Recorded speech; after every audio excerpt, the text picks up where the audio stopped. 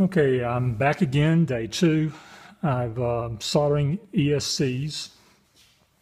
I've been looking at mine. These motors are nice in the fact that they have a long cable, but of course, the way we're having it, uh, we don't need those. So, first thing to do is to desolder the connections on the ESCs. I'm going ahead and cut my uh, new heat shrink. This is very heavy duty. Um, I have both two of the boards here. This is the side with, I was kind of disappointed. This is actually a sticker. It is not a heat sink. Uh, so that's kind of a concern, but about that um, being that way. Uh, I'm kind of surprised, but it's the way it is. Uh, looking at the soldering and looking at the boards, I've got uh, the other side under the magnifying glass. And the first one I'm going to do are the hardest ones um, for the controls here. Uh, they're underneath this little piece of uh, covering, which comes off fairly easy. And we're going to essentially solder those uh, in that.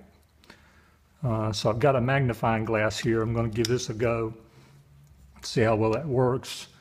I've uh, improvised a stand for my soldering iron since uh, it's one of the problems not having a stand.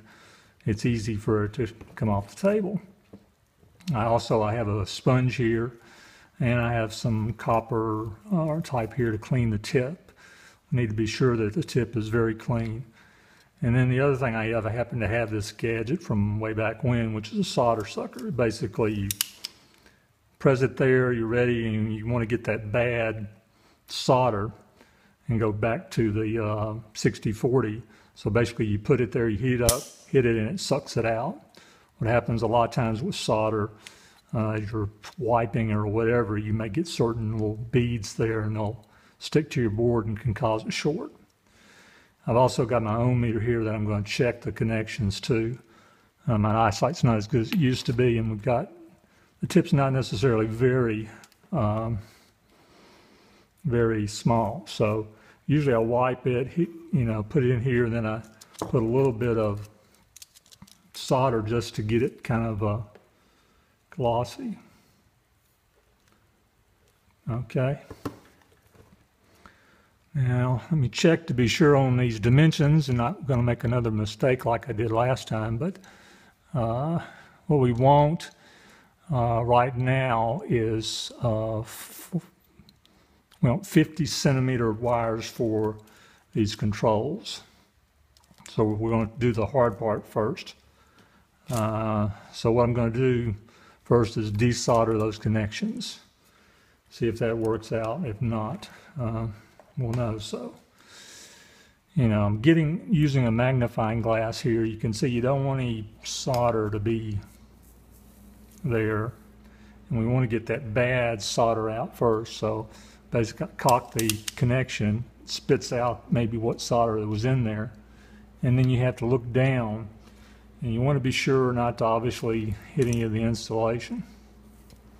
So I'm going through here and you can see my it just magnifies it uh, it's good to have a good grip on this and so if you notice also need to notice the color of wires. Of course we've got another one here too but we're going to do all three of those when we cut. So basically we do that and then press the soldering gun and that sucks it out.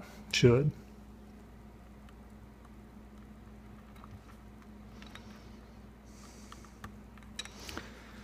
All right, so we got those out like that. And we can flip over and see he's here. This um, you can see that it's got the kind of a brown, red, yellow. If there's wire strippers, I'm just going to use those to get it, hopefully get it stripped. Again, when you're working with these small wires, can be a challenge. Uh, and it's nice to have a stripper just to, just to having a fool with a razor blade or something like that. Sometimes it doesn't work. This tool I got at Amazon, it's about $15. I've got my solder that I'm going to go ahead and pre-tin this. I want to see it nice little shine to it.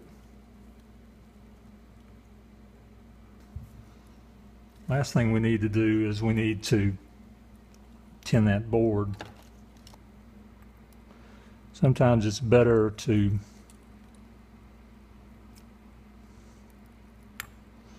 put your solder first. The red.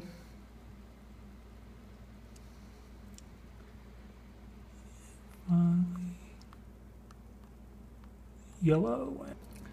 Obviously, I need to desolder these. Um, usually press it down. And you get that chip there. Just